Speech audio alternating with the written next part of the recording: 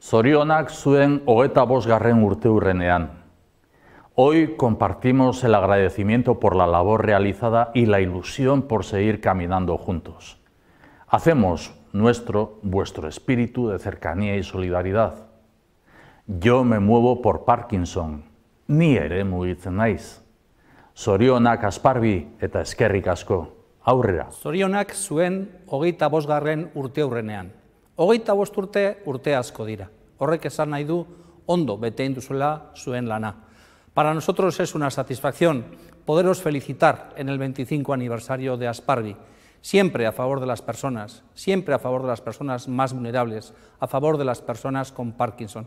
Es una suerte teneros aquí y si nos lo permitís, nos gustaría seguiros acompañando en los próximos 25 años. Sorionak eta eskerrik asko. Eta eskerrik asko Asparvi hogeita bost urte hauen lanagatik.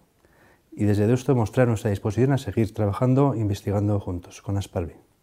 Zoriona. Eta zorion du nahi dut, hogeita urte hauetan Parkinson gaixotasuna daukaten pertsonei eta beren familiei laguntzeagatik.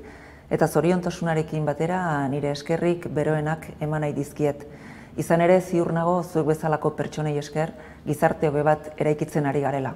Beraz, eskerrik asko eta etorkizunerako nire desiorik onenak. Es un gran placer para mí eh, participar en este 25 aniversario de Asparvi.